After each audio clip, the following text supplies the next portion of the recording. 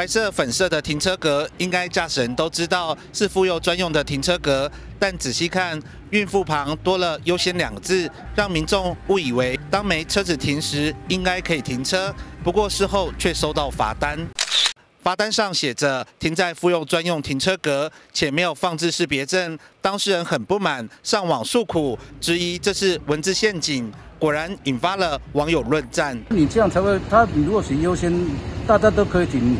他怎么到什么知道说又孕妇什么时候要来？对，那说干脆你这个限定就给孕妇停，那这样如果就比较直接。那大家因为你限定位置又你在网络上搜寻，就一样同样可以知道，嗯，说哪些地方是属于孕妇有有有车格的时候。回到信山路孕妇专用停车格周边妇产科林立，市政府很贴心增设了妇幼停车格，不过地面上的文字似乎让人觉得怪怪的。但也有网友说，没有识别证本来就会被警方开单。挡风玻璃上放着一张识别证，像这样粉白相间的停车格，专给孕妇或者有六岁以下儿童的驾驶。警方执法时若没有识别证，就属于违规停放，将处罚六百元到一千两百元罚款。说这个专用车格部分，还是它有它的专用性。那有关民众针对这个。呃，标线有文字上的疑虑的部分，我们会来进行做涂销。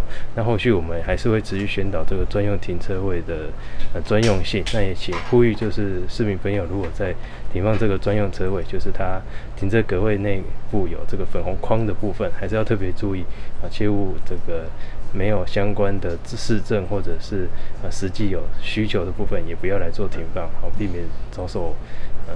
警方取缔设置孕妇停车格本来是美意，但没想到却惹出了争议。政府已经将地面的文字涂消，就是要专给有需要的人。记者黄少明、金融报道。